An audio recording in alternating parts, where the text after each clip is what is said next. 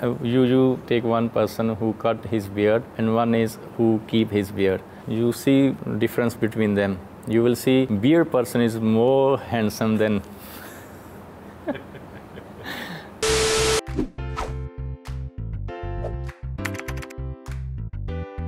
Hi, I am Kuldeep Singh. I am from Shri Guru Nanak Satsang Sabha Katong Sikh Temple. I'm doing seva as priest in this temple since last uh, six years.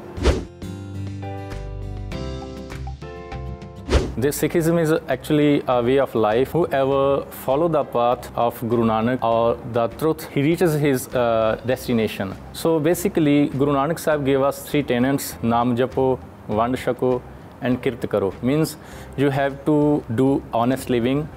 Then whatever you earn, you have to uh, share with needy people and then you have to meditate on God. We follow our holy scripture, holy scripture, and we try to live according to our Gurbani. Every Sikh believes in one God. This is our main tenet.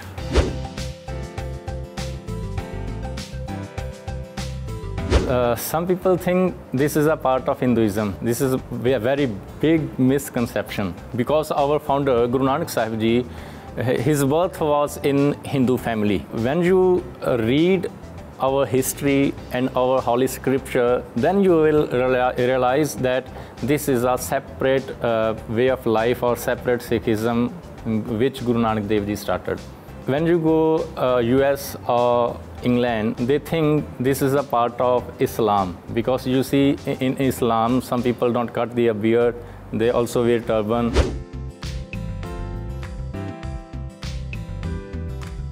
Our Guru says, don't cut your hair. You have to keep your hair as it is from your birth. We can't cut. If we keeping our hair like this, then we have to cover it with this turban for respect. Our 10th master, Guru Gobind Singh Ji Maharaj says, Kes Guru ki mohar. Mohar means stamp.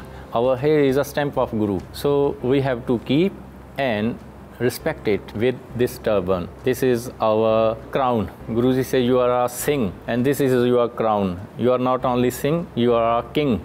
So you have to wear your crown. That's why we can't remove our turban from our head.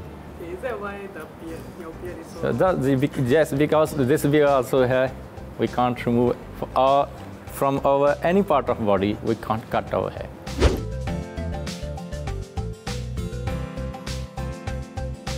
When you go out, then you have to wear turban. When you come to uh, at your house, then you can remove your this big turban. We wear two turbans. One is small and one is this big. At home, when you come to from your work, you can remove this big turban, but your small turban will be at your head. You can't remove totally uh, turban from your head. Whenever you go to bed to sleep, then you also have to keep your turban on your head. You can't you can't uh, sleep with bare head.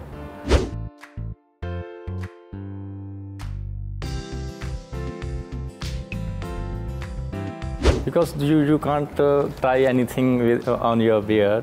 See, uh, you, you uh, take one person who cut his beard and one is who keep his beard. You see the uh, difference between them. You will see beard person is more handsome than.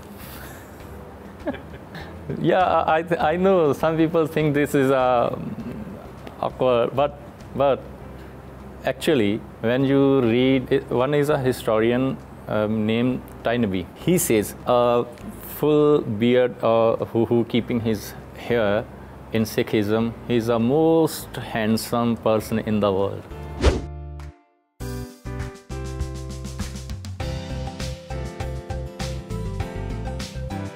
Yeah, in Sikhism, 5Ks are more significance for every Sikh. One is uh, hair, second is kirpan, dagger, you can say. Third is kada, iron bracelet. Fourth is kachera, undergarment. And fifth is wooden comb, which is in our hair.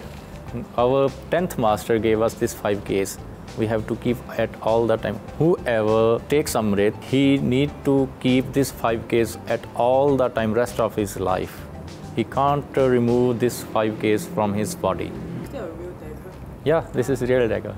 It's not to scare people. It's for self-defense only.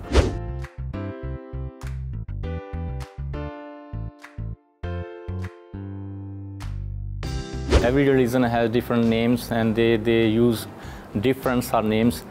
But our 10th Guru uh, gave us a different surname. For men, Singh, and for uh, ladies or girls, Kaur. So Singh means lion and Kaur means princess. For example, my name is Kuldeep. Guru Gobind Singh Ji gave me Singh. So I will say my name is Kuldeep Singh. I can't uh, use any other surname before uh, after Singh. If we remove from our name, then it will be uh, disrespect of our Guru. We, we are not accepting our Guru's order.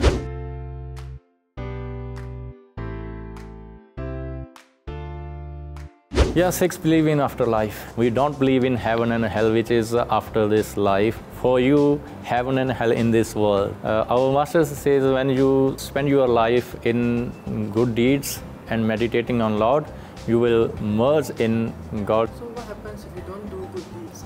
Then you have to re- re- reincarnate. You, you, you want merge in, in God and you have to come again in different uh, forms. Yeah.